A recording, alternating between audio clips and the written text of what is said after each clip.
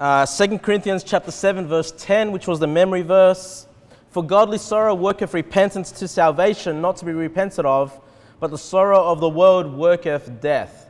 The title of the sermon this morning is Godly Sorrow. Godly Sorrow. For godly sorrow worketh repentance. So, let's pick it up from verse number 1, 2 Corinthians chapter 7, verse 1. Having therefore these promises, now it's interesting that chapter, you know, verse number 1 picks up with this thought. Having therefore these promises. Because you might be wondering, well, what promises? Having what promises, right? Having therefore these promises, dearly beloved, let us cleanse ourselves from all filthiness of the flesh and spirit, perfecting holiness in the fear of God. Now, if I was the one that was creating chapter divisions in the Bible, if, if that was my job, I was creating the chapter divisions, I would throw verse number one here into chapter number six. Right? Because if you look at chapter number six again, just go back to 2 Corinthians uh, chapter number six, look at the end there. Remember, it said there in verse 17, Wherefore come out from among them, and be ye separate, saith the Lord, and touch not the unclean thing, and I will receive you. Remember the thought that we left with chapter number 6 was to not be associated with the world, not to be associated, not to build, not to be yoked up with wicked people of this world, with unbelievers, right? And so he says, hey, we need to separate ourselves from that. Verse 18, and I will be a father unto you, and ye shall be my sons and daughters, saith the Lord Almighty. So we spoke about the fellowship that we can have with God the Father if we cleaned up our lives and separated ourselves from the world. And so, picking up from verse number one, I feel like it's a tail end of all of that. Having therefore these promises. What promises? The promise that God will fellowship with us. He will be for us a father, and we will be his children if we walk in the light, if we walk after his commands, if we walk after his ways. This is the promise that we have that we would be in fellowship with the God of the universe, with God our Father. And this is because we have these promises, dearly beloved, let us cleanse ourselves from all filthiness of the flesh and spirit. So, against that same thought, to cleanse ourselves from this world, from the wickedness, perfecting holiness in the fear of God. So, what's interesting about verse number one there? It says um, to cleanse ourselves from all filthiness of the flesh and spirit. Now you might be saying, well, hold on. Don't we have a new spirit? If we're saved, uh, isn't this new spirit, isn't that cleansed? Isn't that perfect? Isn't that without sin? Yes, it is.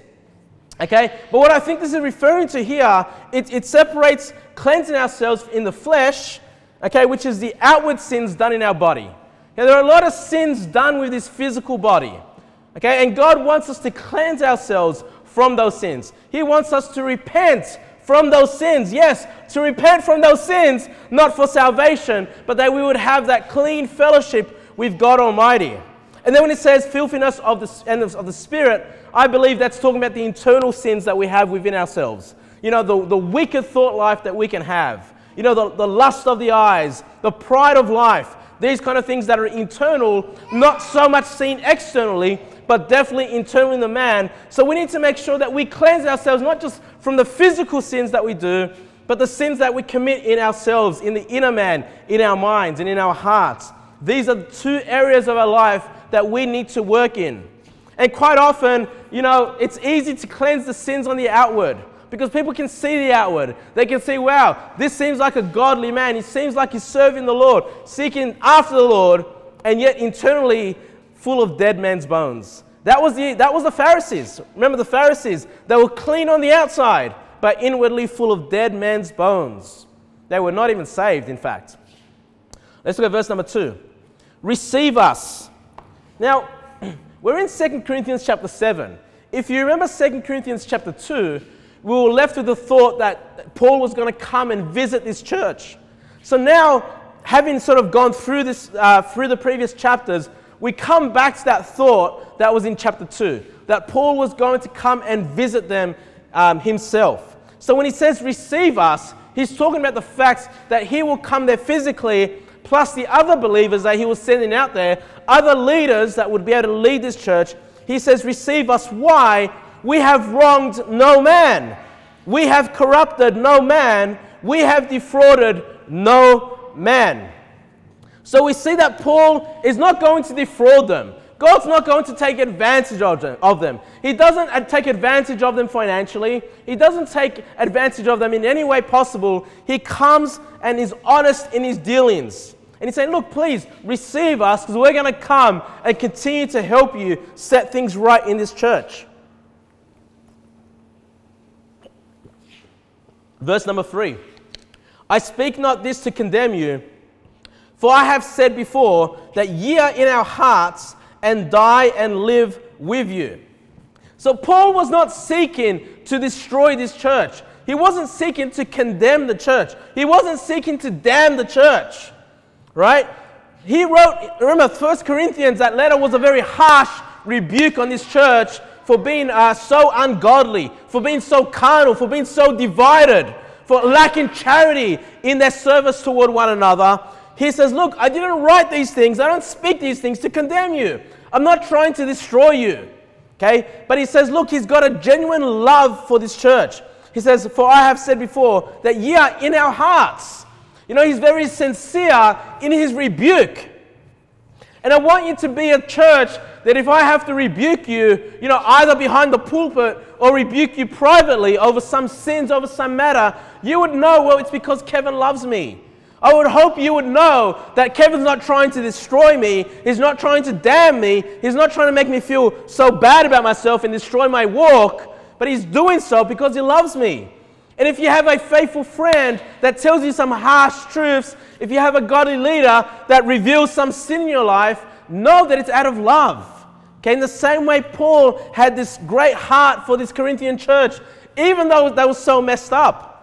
And I think what I said in chapter 1 if some of us had seen this church in our area, the Corinthian church in our area, whatever church it may be, we would think so harshly about it. We would probably want that church to fold and, be destroyed. But that is not the heart of Paul, right?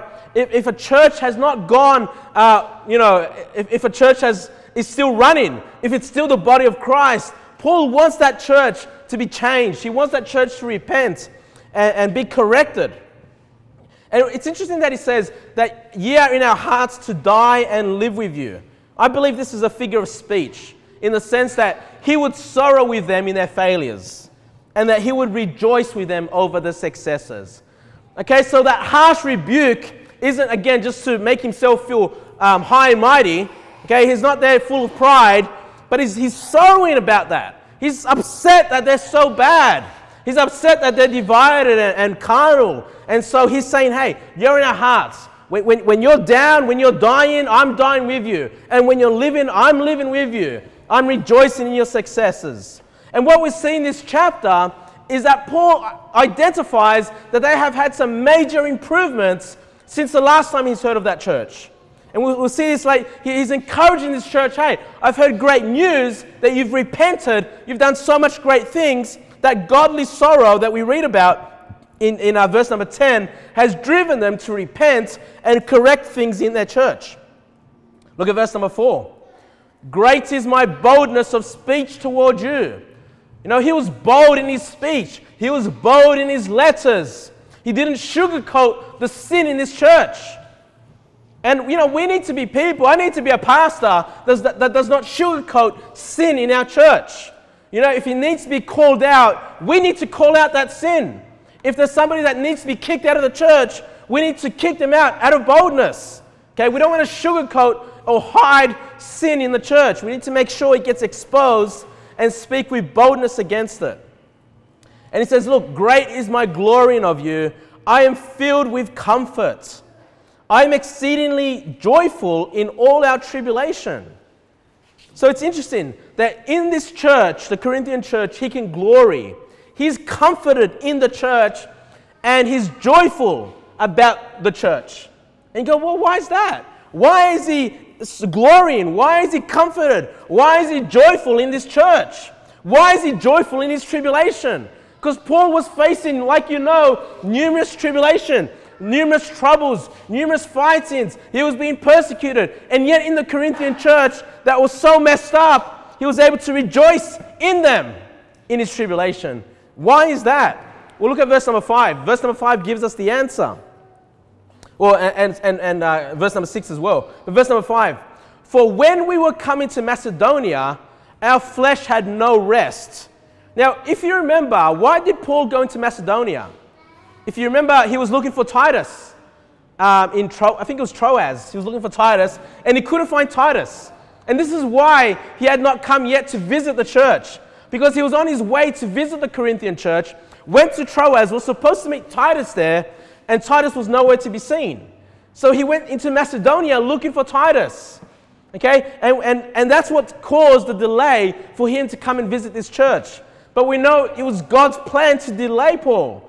It was God's plan to delay him because, as we've seen before, Paul was coming to, to uh, criticize this church even more, but yet they had done a lot to fix things. And they're on their way to fix things. So he could have caused more damage in the church. And you know, sometimes God will send away godly men. Sometimes God will send away godly leaders because they're causing more damage to the church than necessary. Okay? And we see Paul being held up in Macedonia, and he says, Our flesh had no rest, but we were troubled on every side. Without were fightings, within were fears. They were fearing for their life. They were being greatly persecuted in Macedonia as he was looking for Titus in this city. Um, verse number six. Nevertheless, God that comforted those that are cast down comforted us by the coming of Titus.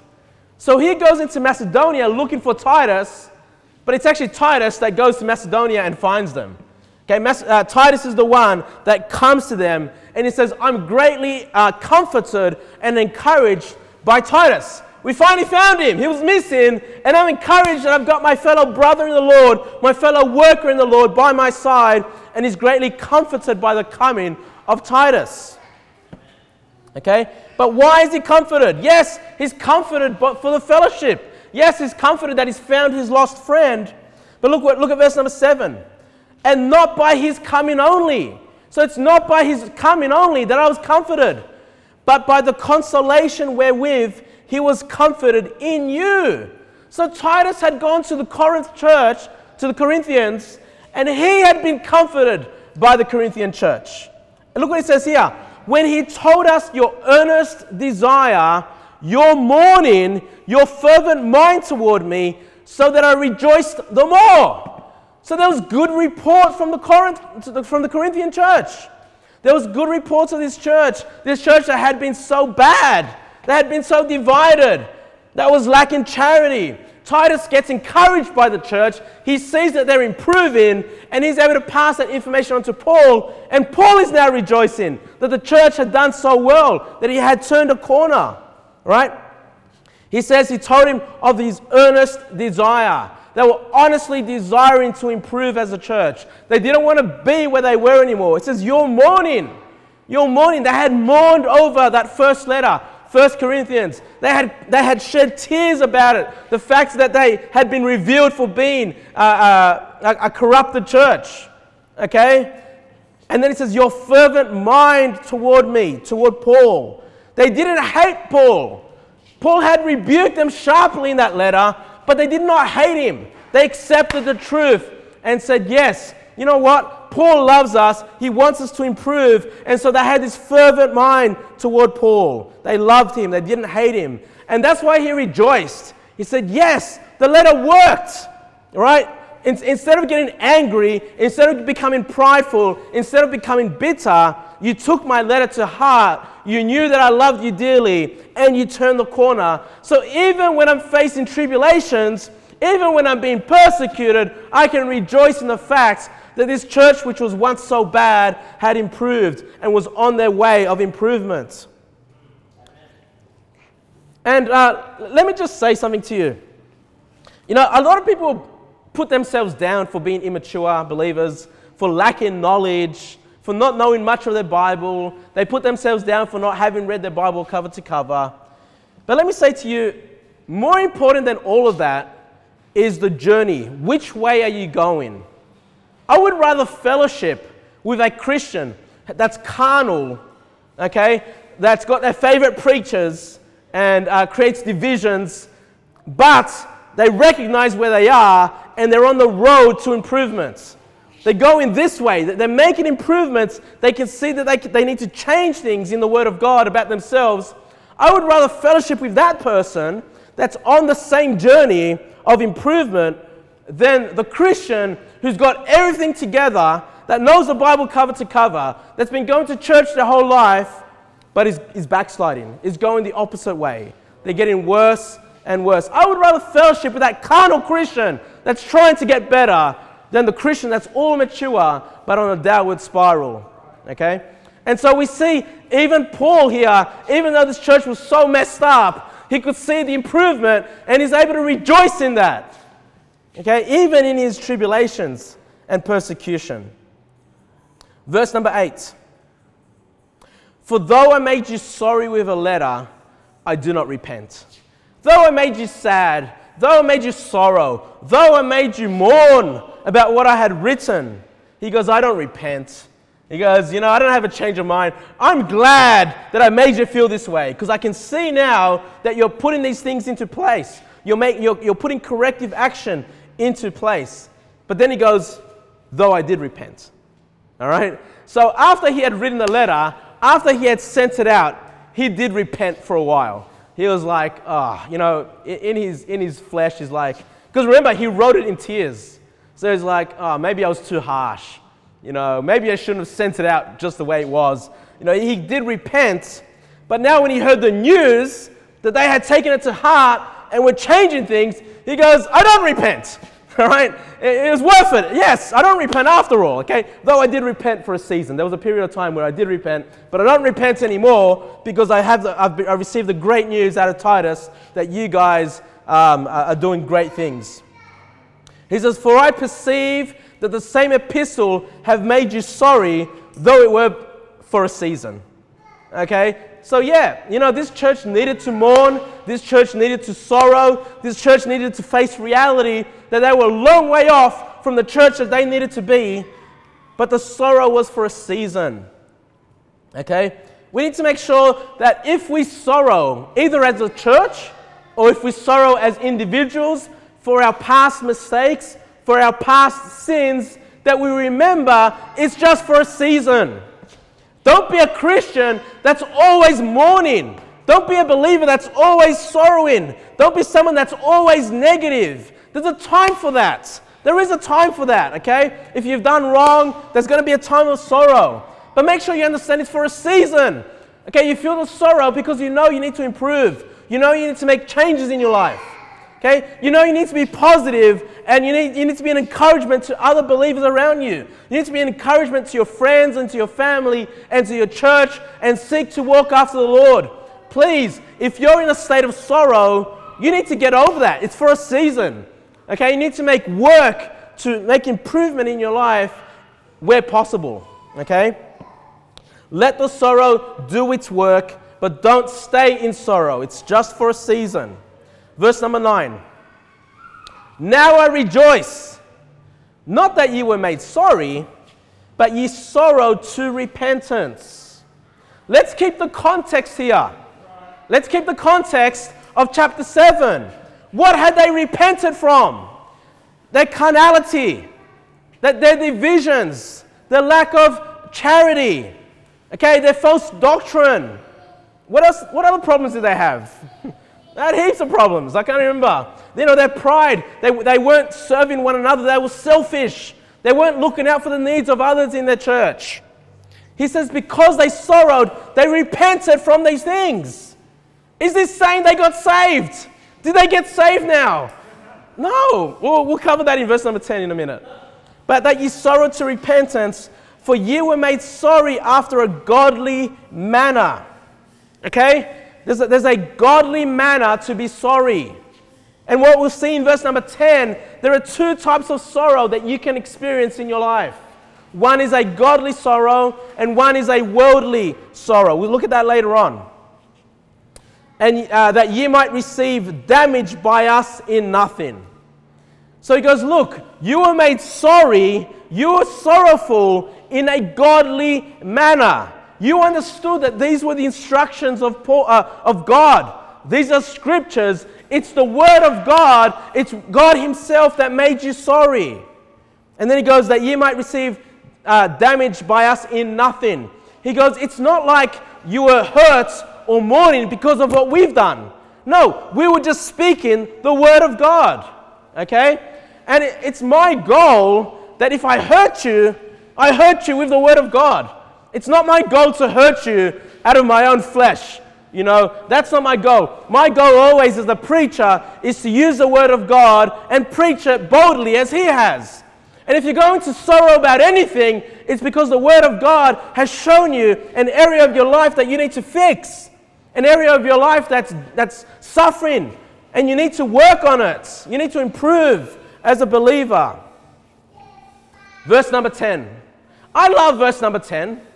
I, really do.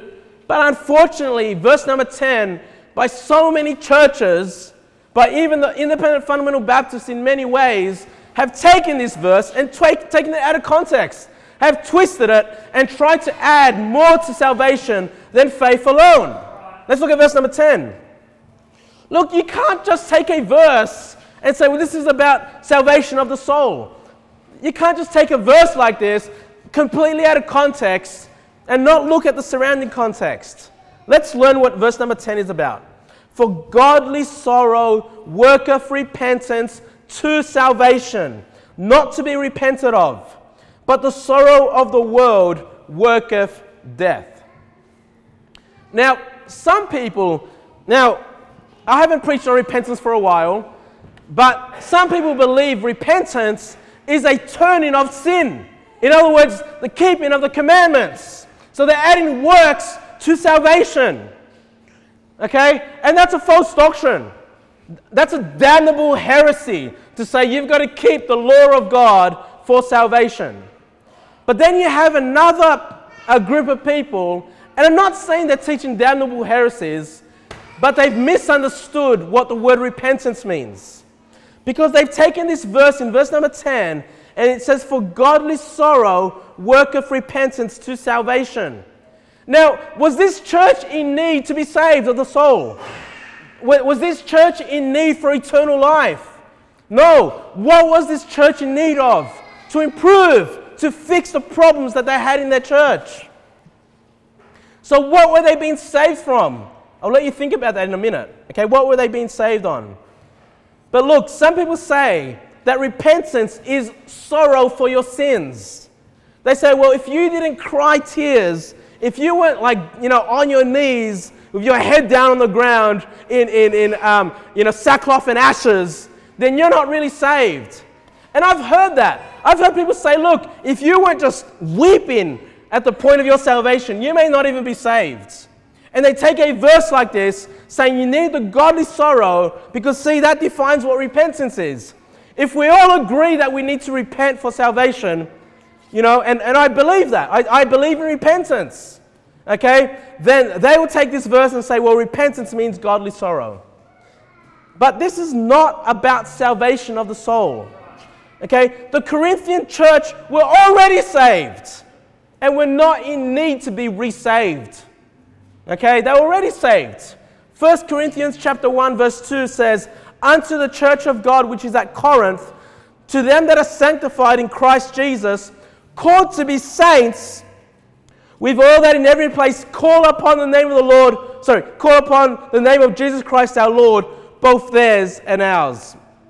So when Paul writes his first letter, he recognizes that they're saints of the Lord. They've already been sanctified, they've already been forgiven, they're already saved believers. Now, if you believe here that they need to be saved again, then obviously you believe they've lost their salvation. That's not true. You know, they didn't lose their salvation. It is foolish. I mean, look, even if this was about salvation of the soul, wouldn't you think it's completely foolish to finally bring this up in 2 Corinthians chapter 7? Wouldn't you bring that up in 1 Corinthians chapter 1, their need for salvation? Why would you put first the need for them to, uh, to, to um, have charity for one another, for their need to, to stop this division, to be of one mind? Why would he be teaching them about the Lord's Supper in the first letter if they weren't even saved? You know, it's just foolish to think you'd get to chapter 7 of 2 Corinthians. Oh, by the way, you need to get saved. It's just, uh, what? What in the world? But that's what pastors do all the time. Many pastors take this verse and apply it to the salvation of the soul. There's only two ways to understand this. Number one, maybe they're just completely ignorant. Okay, they just haven't read their Bibles, they haven't studied the Bibles, they haven't read through Second Corinthians in, in full. That's one possibility, they're completely ignorant. The other possibility is they're just a complete false prophet, a complete false teacher, unsaved, uh, a wolf in sheep's clothing. That's the other option. I mean, what other options are there?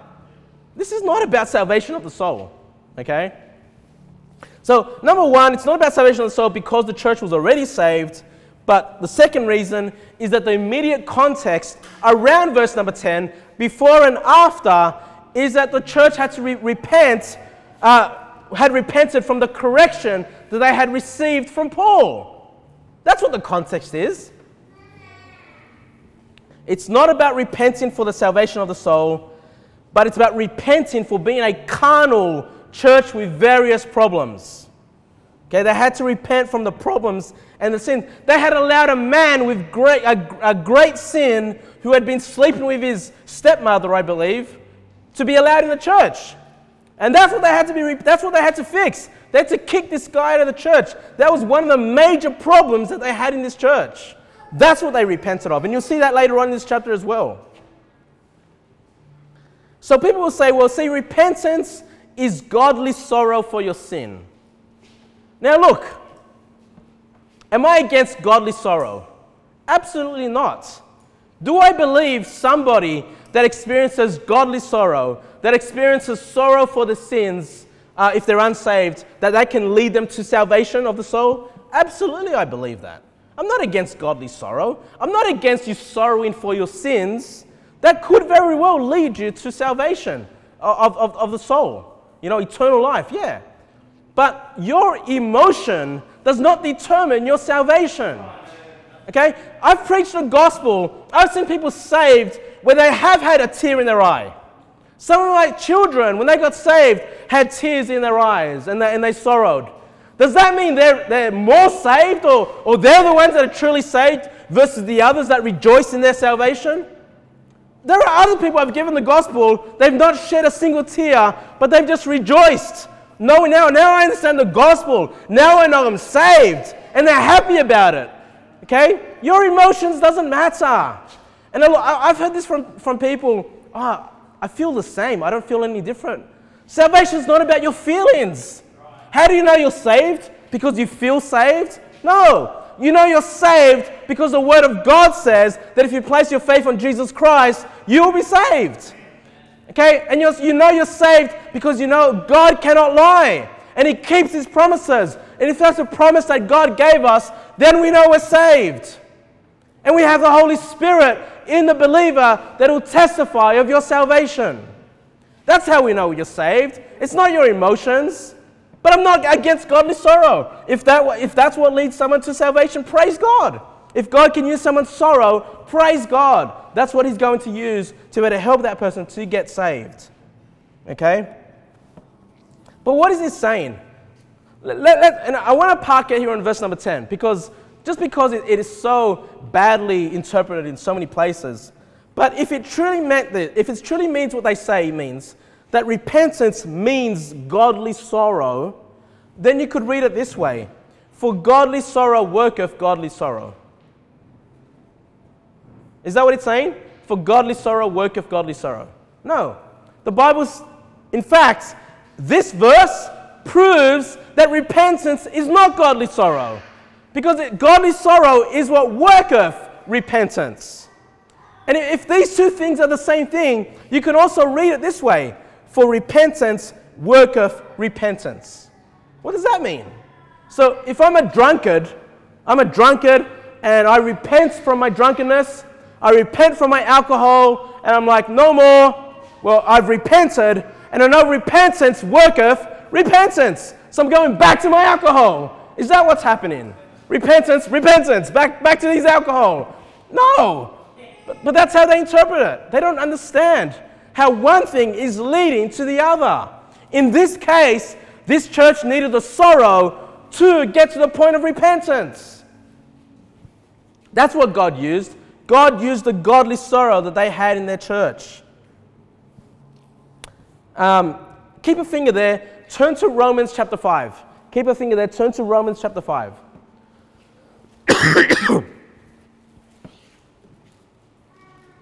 I mean, look, the natural reading Even a child can read this and know that one thing is leading to the other, that these are not the same things.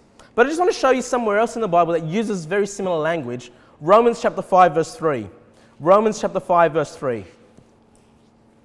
The Bible reads, And not only so, but we glory in tribulations also. So, what's one reason we can glory in troubles in our life? Knowing that tribulation worketh patience. So, is patience, is the definition of patience tribulation? No.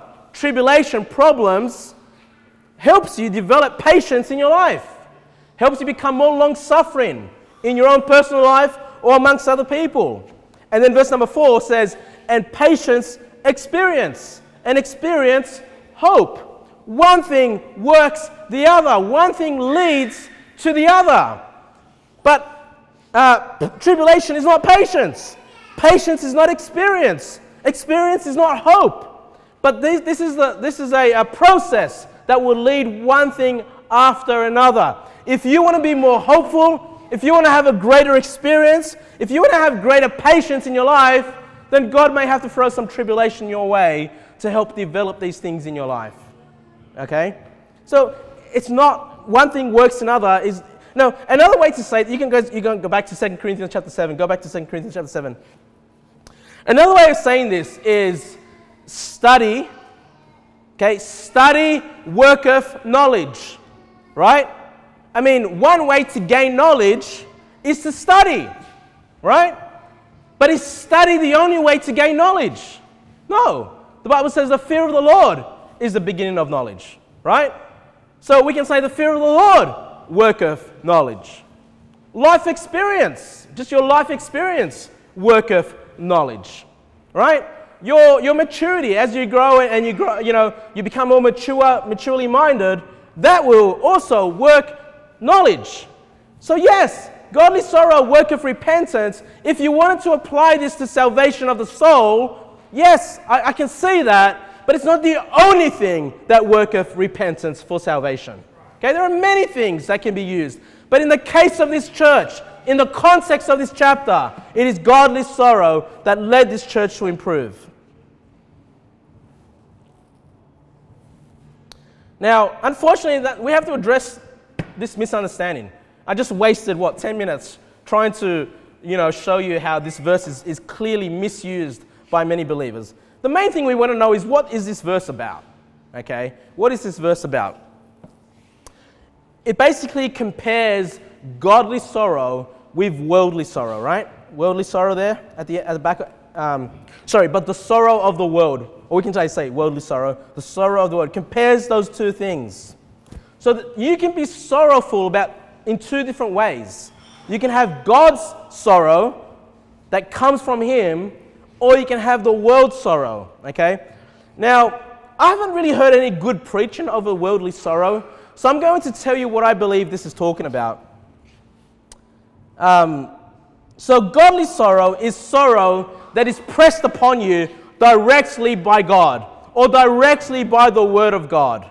Okay? And again, in this case, it's that this church would repent, would fix things, would take corrective action in their church. You know, they were a church that was idolizing men, they were lacking charity, they were lacking love, they were selfish, they were carnal. And the question is, well, what were they saved from? You know, if, if it worketh salvation, or sorry, um, godly sorrow, what was it again? Sorry, godly sorrow uh, work of repentance to salvation. What were they being saved from? All these problems that was plaguing their church. That's what they were being saved from. They were being saved from the divisions and the carnality of the church. It would have destroyed the church and they needed to be saved. And what saved this church was First Corinthians, was that letter, was that epistle from Paul. So just as I think for you guys, when you read the word salvation or saved in the Bible, it's not always about the salvation of your soul. It's not always about eternal life. It could be your physical salvation of your life, right? This church needed to be saved. Let me give you one, uh, I'll just quickly read to you 1 Corinthians 5 6. This is when they were instructed to kick out this man for his uh, grievous sin. The Bible says, Your glorying is not good Know ye not that a little leaven leaveneth the whole lump? So it says, look, this man committing this sin is like a little leaven. And if you don't kick him out, you're going to leaven the whole church. The whole church is going to be filled with these uh, wicked sins. So, what were they save from? They were saved from being leavened as a church by kicking out that man. How else can a church be saved? How, how else can a church be saved? Uh, keep your finger there. Turn to Revelation chapter 2. Revelation chapter 2, verse 5. Revelation chapter 2, verse 5.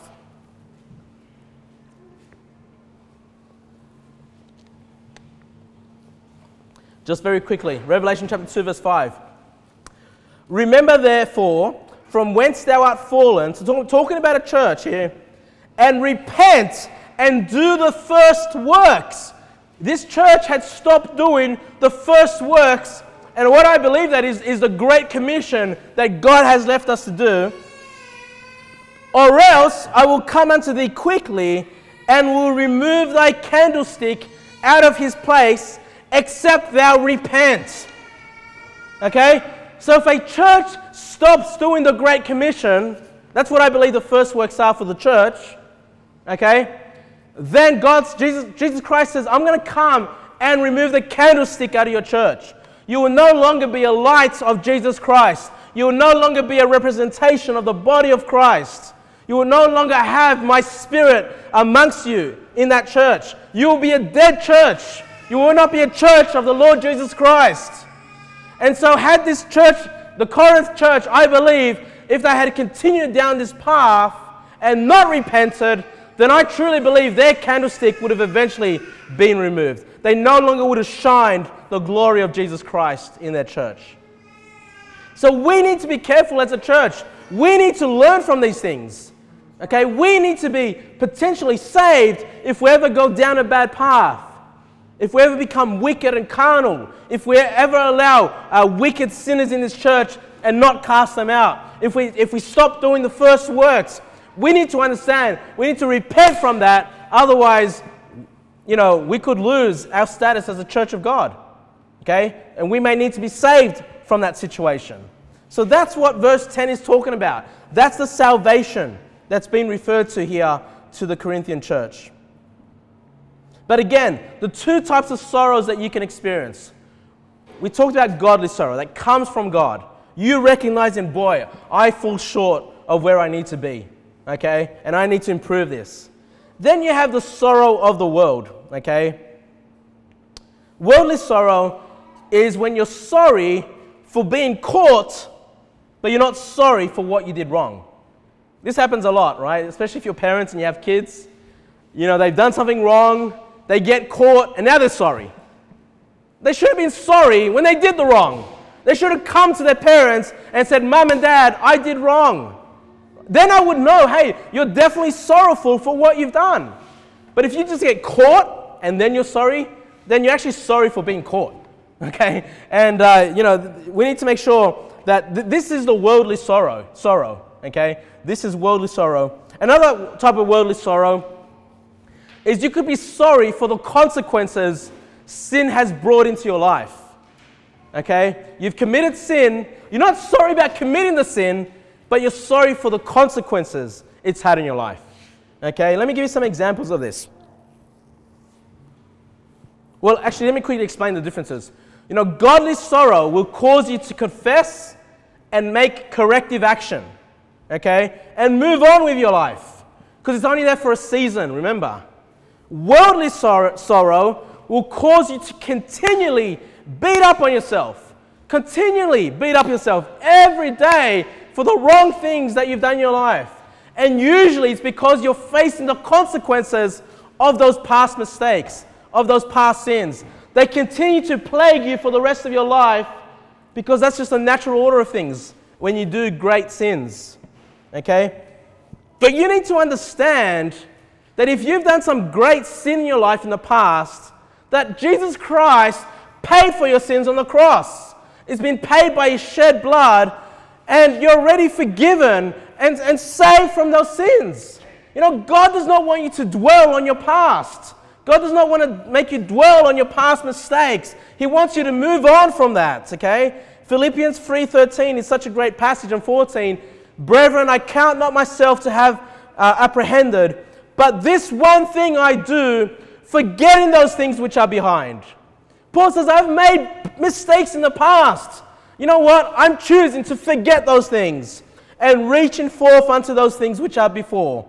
I press toward the mark for the prize of the high calling of God in Christ Jesus. That's how you move on with your life. That's how you remain positive. That's how you remain effective and productive for the Lord. You forget about your past sins. Move on. If you can't fix them, move on. Yes, you've sorrowed for them. Yes, Christ has paid for them on the cross. Now it's time for you to move on to the high calling of God, doing great things for God. Forget about it, okay? Let godly sorrow have done its work for a season. Now you've learnt your lesson. Now you can help others that might be making that same mistake you've done in the past. But you've moved on. You're doing great things for God. But worldly sorrow will keep you in bondage. Worldly sorrow will continuously cause you to beat up on yourself for the past mistakes. You're like, I can't forgive myself. Well, God's forgiven you. If God's forgiven you, you need to learn to forgive yourself and move on. We've all done mistakes in our life. Some have done worse mistakes than others. Some have done greater sins than others. It's time to move on. Okay? Otherwise, that's worldly sorrow. Okay? It's worldly sorrow. That's not where God wants you to be. He wants you to make changes, just like this church needed to make changes and be productive for the Lord. Move on. Okay? Rejoice. And if you're sorrowful for the sins you've done in your past, you need to figure out is this godly sorrow? Is it lasting a season? Have I taken corrective action? Then that's good. But if you find yourself just continuously beating yourself up and not moving on, that's worldly sorrow. Okay, that's worldly sorrow. Verse 11, let's go on to verse 11. For behold, this self same thing, that ye sorrowed after a godly sort, what carefulness it wrought in you. So, you know, they were sure, they were careful. They did not make the mistake, the same mistakes again. They did not continue down the same path. We see how this church has improved. It says, Yea, verse 11, Yea, what clearing of yourselves. You know, you've cleared yourself of major sins. You're working toward being more holy, being more blameless, being children of God. Yea, what indignation. What's, do you know what indignation is? It's having a great anger. Okay? They got angry about the state of affairs. Not only did they mourn, but they got angry. How could we have let ourselves get to this point? Okay? And there is righteous anger. Anger is not a sin in of itself. God can use anger to get you to do great things for Him. They were angry about the sins in their church. Praise God. Then it says, Yea, what fear? I would say it's the fear of God's judgment over them. They were fearful. Wow, you know, if, if, we, if we don't fix things, we could potentially lose the candlestick. You know, they were afraid of God's judgment upon their church. Then it says, What vehement desire! They had a desire to change. They were zealous. I think it says zealous later on here. Yeah. Yea, what zeal, right? They had rekindled their drive for holiness. They had rekindled their drive to be godly and to want to know the Word of God and improve. Yea, what revenge! They go, Kevin, are we not supposed to not take revenge? Yeah, but sometimes revenge is okay. In this case, they needed to take revenge on themselves, right? They need to fix things. Um, you know, revenge also means to vindicate.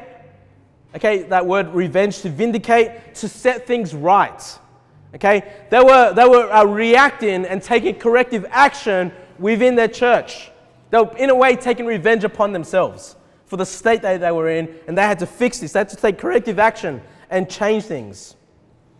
Can you guys turn to, just to show you this a little bit further, turn to 2 Corinthians chapter 10, chapter 10, verse 6. Chapter 10, verse 6. 2 Corinthians chapter 10, verse 6. It says, And having a readiness to revenge all disobedience when your obedience is fulfilled. So they had taken revenge upon their disobedience to the scriptures. Okay? It's not like they were taking revenge on an enemy. They were taking revenge on themselves for being disobedient. Okay? So that, that's the context that God uses this word revenge I'm not saying it's ever good for you guys to go and take out revenge on your enemies or someone that's done you wrong, okay? You can take revenge on yourself if you need to, okay? That's, that's fine. Verse number 12, verse, uh, back to chapter 7, chapter 7, verse 12. Wherefore, though I wrote unto you, I did it not for his cause. So, who's this his cause? I believe this is the person they had to kick out of the church that had done the wrong, not for his cause that suffered wrong, but that our care for you in the sight of God might appear unto you. So, you know, again, you can read chapter 5 in your own time, 1 Corinthians chapter 5. They had to kick this man out of the church for his ungodly, wicked sin, right? But he says, I did not write that for his sake, for his cause. Okay, it wasn't so much about him, it was about you as a church, that you would not be leavened with this sin. Okay? He wrote 1 Corinthians for the protection of the church. Church discipline was, uh, was the primary purpose, but it wasn't about punishing that person, it was to protect the church. And yes, a secondary application is the punishment of that individual, okay? But it was about protecting the church. I want you to keep that in mind. If we ever need to kick an individual out of this church, okay, it's not because, oh, it's that one person. No, we're protecting the whole, okay? That's what verse 12 is teaching us. Verse 13, therefore, we were comforted in your comforted Yea, and exceedingly the more joyed we for the joy of Titus, because his spirit was refreshed by you all. So, again, just that idea that Titus came, he was refreshed, he was energized, his batteries were recharged when he saw that this Corinthian church had obeyed. They had kicked this guy to the church, they were fixing things within the church, they had received him in love rather than uh, being full of pride and saying, Well, who are you to tell us what, to, you know, what we ought to be as a church? He was refreshed. Even a messed up church can bring comfort and refreshment to fellow brethren. Again, if they're on the right path. Okay? A messed up church that's on the wrong path, they're not going to bring joy to anybody. Okay? Verse 14 For if I have boasted anything to him of you, I am not ashamed. But as we spake all things to you in truth, even so our boasting, which I made before Titus, is found a truth. So, boasting in the general sense, again, is a sin because generally speaking, when someone boasts, they boast of themselves. They talk themselves up, right? But in this sense, you can boast about fellow brethren. You can boast about what God has done in your life. Okay? That boasting is fine. Okay? Boasting of other people, boasting of God. Uh, what he's saying is basically, my boasting is well founded. It's not a lie, it's true. You guys are on your way of improvement. He's encouraging the church, saying, Hey, you guys are doing so much better that I'm even boasting about you to others. We can see that they had turned a corner. Verse 15.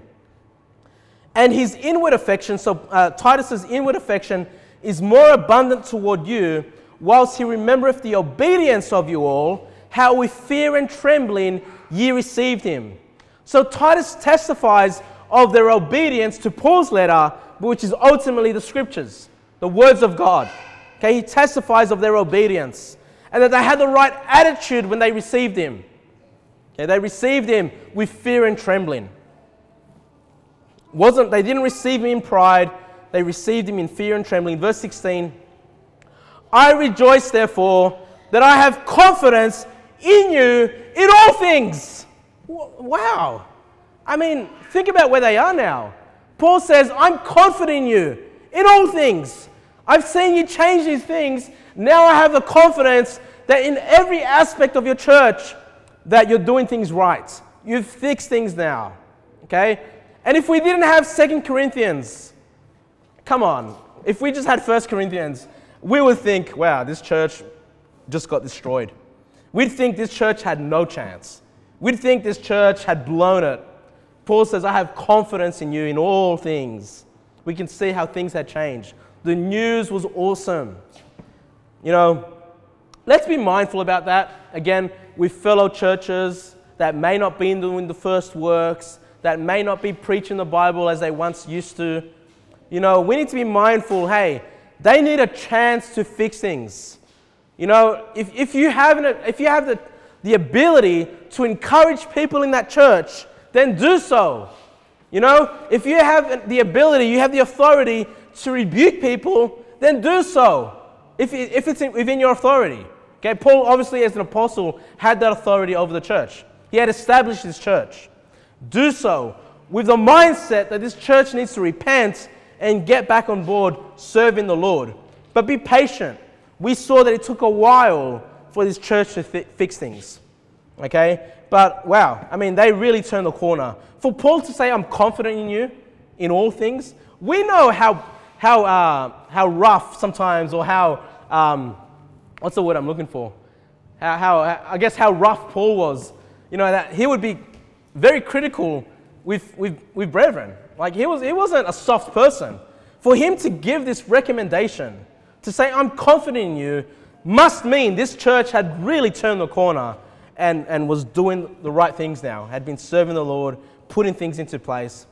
Um, so, you know, praise God for Second Corinthians. You know, I, I hope that if we ever mess up as a church, we would just remember, not get discouraged. We would have godly sorrow for a season and get things fixed up, you know, and once again be on the right track serving the Lord. Let's pray.